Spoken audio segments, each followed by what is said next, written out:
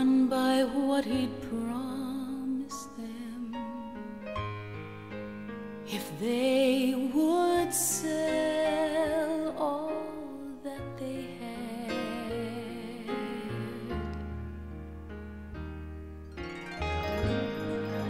he said that God would send a kingdom that would.